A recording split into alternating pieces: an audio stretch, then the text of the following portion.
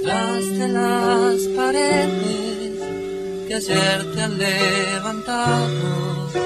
Te ruego que respires todavía